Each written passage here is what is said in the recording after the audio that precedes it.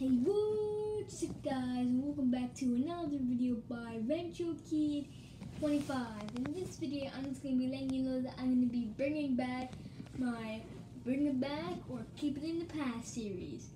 And I'm also going to be starting a new series where I do Lego. If you guys would like to see any of those two series, then don't forget to like, subscribe, share, and hit the bell.